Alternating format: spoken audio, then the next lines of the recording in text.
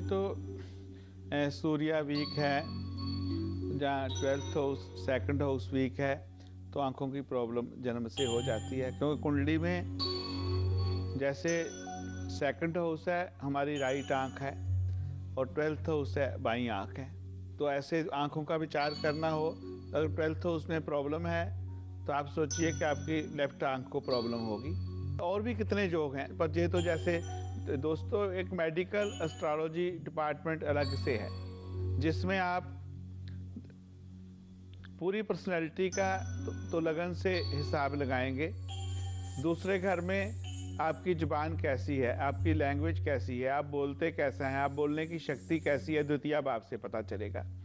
जो बच्चे थुथलाते हैं बच्चे बाद में थुथलाते हैं पहले दिन से तो नहीं थुथलाते पर जन्म कुंडली तभी बता देती पहले दिन कि ये बच्चा पैदा हुआ है, जिसकी तोतला बोलेगा।